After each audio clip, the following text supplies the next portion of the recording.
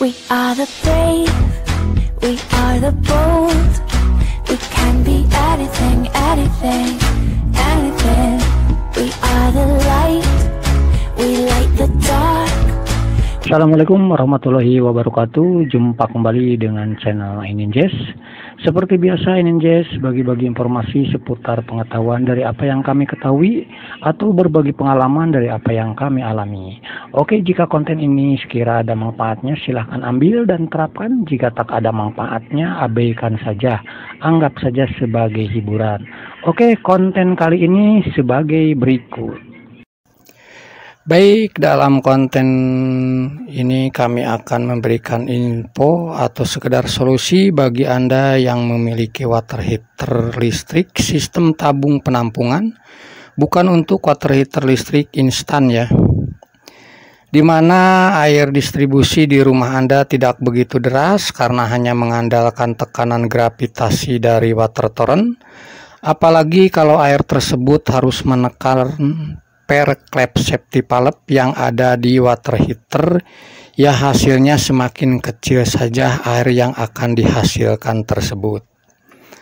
Masih ada saja yang gara-gara air yang dihasilkan dari water heater terlalu kecil malah alat pengaman yang namanya safety valve tersebut tidak dipasangnya Seandainya yang pasang memahami fungsi safety valve serta sebagai pengaman, beliau tidak akan melakukan hal tersebut dengan tidak memasangnya safety valve.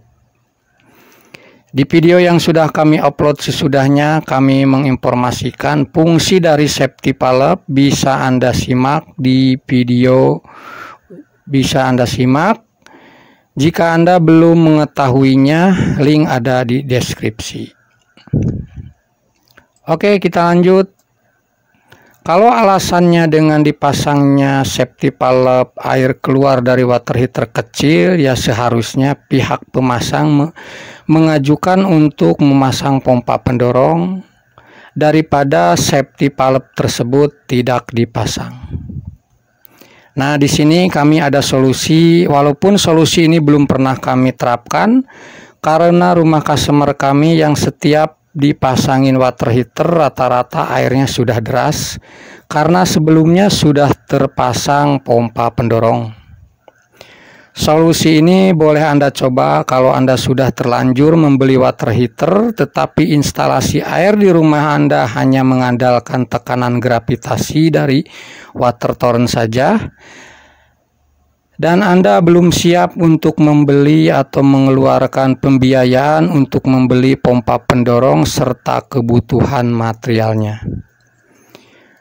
Solusi kami ini tetap si safety valve tersebut dipasang. Tetapi sebelum safety valve dipasang di unit water heater air masuk coba Anda perhatikan dan ikutin tahap demi tahapnya. Ini adalah sebuah safety valve di dalam safety valve ini ada klep beserta pernya. Nah, per tersebut Anda lepas saja. Ingat, hanya pernya saja yang dilepas. Silahkan simak baik-baik cara membuka per klep safety valve ini. Dan Anda hanya butuh sebuah tang lancip atau apa saja yang sekiranya bisa untuk melepas ring pembatas klep ini. Beginilah cara membuka dan memasangnya kembali. We are the brave, we are the bold. We can be anything, anything, anything. We are the light, we light the dark.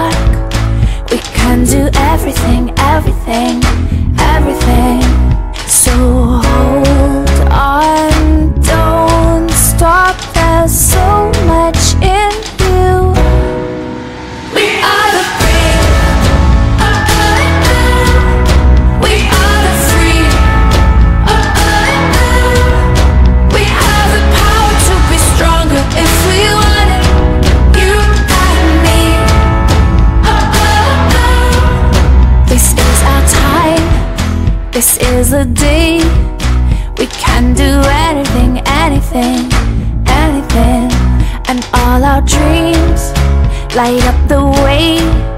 We can have everything, everything, everything. So stand up,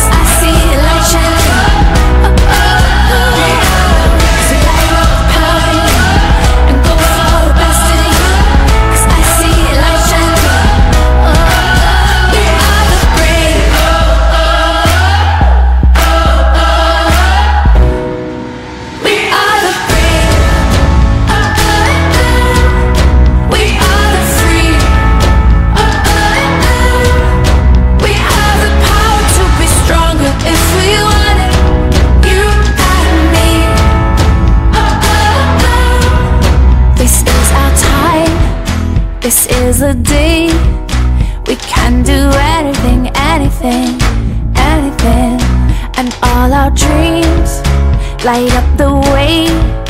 We can have everything, everything, everything. So stand up,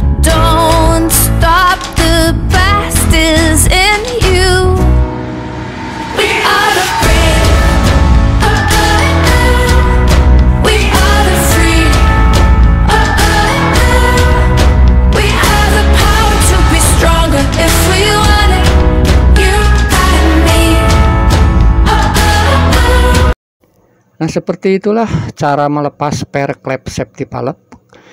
Klep safety valve yang sudah tidak ada pernya silahkan Anda pasangkan ke unit water heater di line air masuk.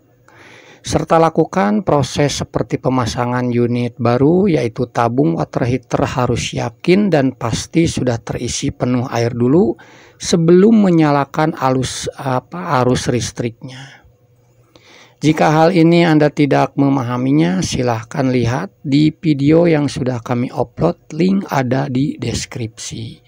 Perlu Anda ketahui, solusi ini bukan kami berniatan mengajarkan yang tidak baik, bukan kami mengajarkan keluar dari prosedur, tetapi mengingat masih ada yang suka sama sekali safety valve tersebut tidak dipasangnya, gara-gara menghindar dari pemasangan pompa pendorong. Nah, daripada sama sekali tidak dipasang safety valve tersebut, lebih baik pakailah solusi tadi. Dan Anda pas, pastikan, lalu Anda perhatikan, Anda rasakan hasilnya. Oke, itu saja informasi serta solusi perihal klep safety valve. Jika ada manfaatnya silahkan ambil dan terapkan. Jika tak ada manfaatnya abaikan saja. Terima kasih. Assalamualaikum warahmatullahi wabarakatuh. Salam Ainin Jazz kasih ya guys Nah, jangan lupa like, komen, dan subscribe. Tambah loncengnya. Loncengnya. Like